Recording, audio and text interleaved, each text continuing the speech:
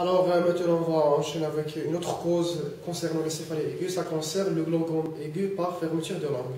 Alors, euh, le glaucome aigu par fermeture de l'angle, il s'agit d'un problème qui euh, concerne l'humeur aqueuse. Alors, la physiopathologie, la physiopathologie a détaillé un peu, il concerne soit deux, soit un blocage qui est pupillaire, soit un blocage qui est prétrabiculaire. Alors, les deux qui vont constituer qui vont être à cause de, l'augmentation de la pression intraoculaire qui est anormale, inférieure à 20 mm de mercure. Alors quand cette pression va augmenter, on va parler un peu où il va se présenter le patient pour un tableau de glaucome, de glaucome aigu par fermeture de l'angle. Alors, les facteurs de risque, alors on a le facteur de risque, euh, premièrement, la femme il est prédisposée que l'homme. C'est la première des choses. Deuxième des choses, quand la chambre antérieure est étroite. Ça, l'hypermétropie. Voilà, l'hypermétropie, euh, c'est un facteur de risque du glaucome aigu par fermeture de l'angle et aussi pour la cataracte. La cataracte, c'est aussi un facteur de risque et pour aussi les médicaments, les médriatiques qui, qui, qui, donnent des amyliases, il s'agit des parasympatholytiques et des sympathomimétiques, comme l'adrénaline, le sympathomimétique, et comme l'atropine, qui, s'agit d'un parasympatholytique. Alors, ce sont les facteurs de risque d'un glaucome aigu. Alors, toujours, il faut chercher un, un tableau qui est prédisposant soit une hypermétropie, soit un cataracte qui est déjà connu, soit un patient sous, euh, qui, a déjà, euh, prend, euh, qui a déjà avoir pris des médicaments qui, qui sont des, des médicaments. Même la corticothérapie, c'est un facteur de risque de glaucome. Oui, aussi la, la, corticothérapie. Alors pour le, tableau, le tableau clinique, le tableau clinique, premièrement, il s'agit d'une douleur et des céphalées. Alors quand on parle des céphalées, ce sont des céphalées, surtout s'ils sont périorbitaires. Deuxième des choses, on a une diminution ou euh, de baisse de l'acuité, euh, de visuelle en bas. Et troisième des choses, on a un semi-médriase.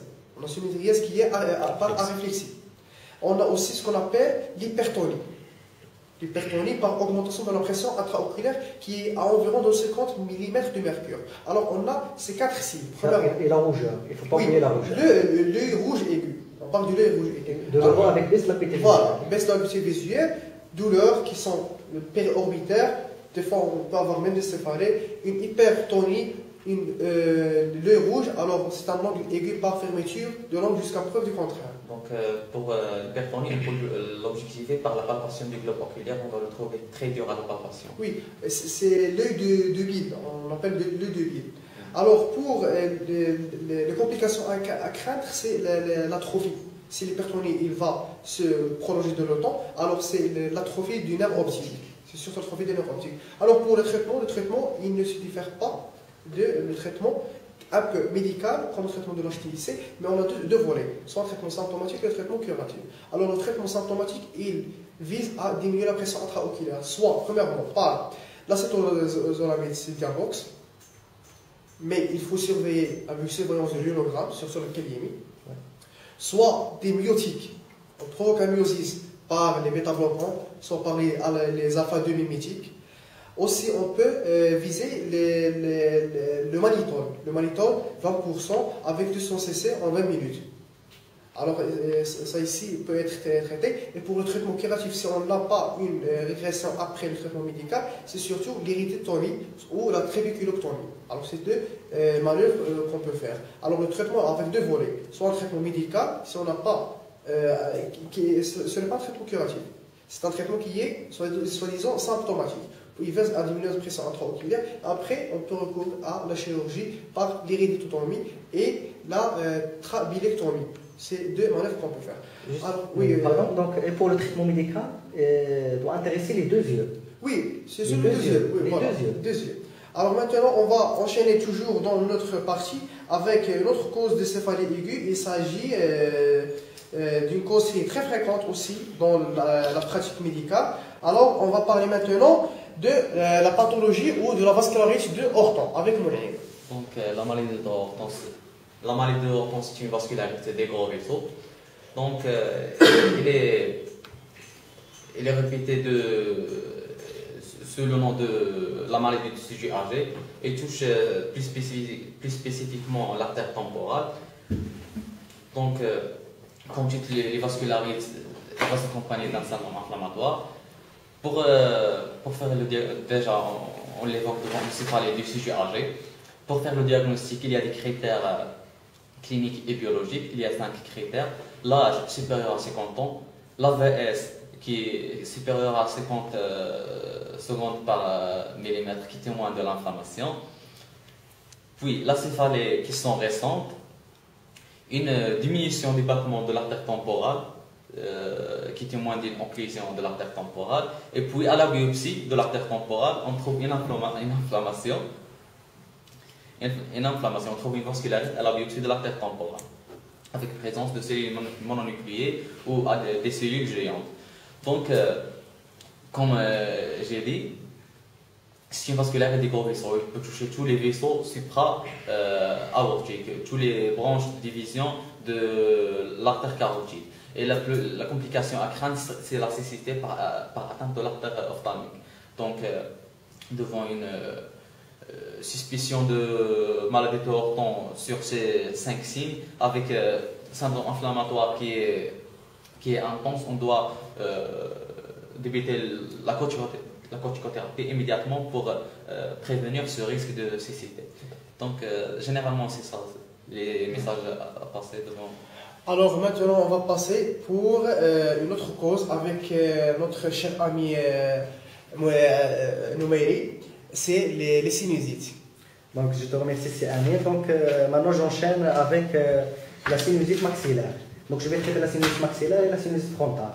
Donc je commence par la sinusite maxillaire. Généralement, le patient vient pour une céphalée qui est aiguë, donc avec, surtout au niveau jugal, au niveau jugal qui accentue la position penchée en avant ça veut dire à l'antéflexion.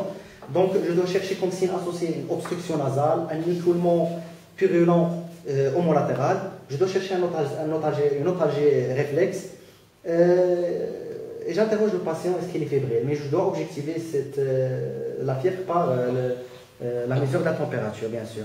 Donc, à l'examen, à la rhinoscopie antérieure, donc, pour deux, deux objectifs. Je dois chercher le pub qui sort par le meilleur moyen. Et euh, parfois, euh, je cherche l'étiologie. Donc, euh, on sait très bien que toute anomalie au niveau du meilleur moyen peut donner une sinusite maxillaire. Donc, toute obstruction du meilleur moyen peut se compliquer de, de, sinusite plutôt, oui. Donc, la rhinoscopie antérieure pour chercher le pub et pour chercher également l'étiologie. L'examen endobuccal. L'examen endobuccal également pour deux objectifs pour chercher le colon qui est, postérieur et pour chercher l'étiologie euh, qui est une dent qui est infectée. Ah, généralement, généralement euh, c'est la deuxième prémolaire euh, supérieure. Donc, je fais un examen ophtalmologique à la recherche de complications, notamment une cellulite ophtalmique, un examen ontologique également.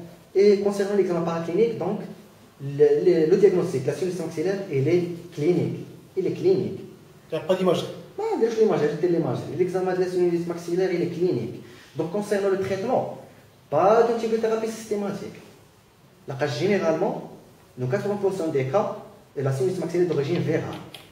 Quand est-ce qu'on traite par les antibiotiques? Il y a des critères de surinfection. C'est compliqué. Il y a des critères de surinfection.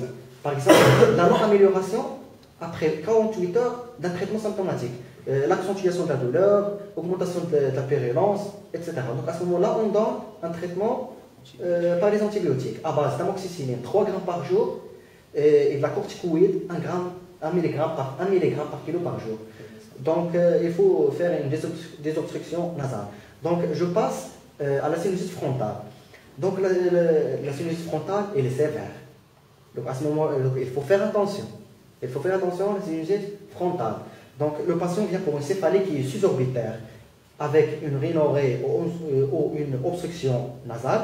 Donc à l'examen, j'insiste sur l'examen neurologique et l'examen ophtalmique. Pourquoi? Parce que la sinus frontale, est pourvoyeuse de plusieurs complications, notamment l'abcès cérébral, l'empien, euh, la thrombophlébite cérébrale, etc. Et un examen ophtalmique. Pourquoi? Parce que ça peut donner euh, une cellulite orbitaire.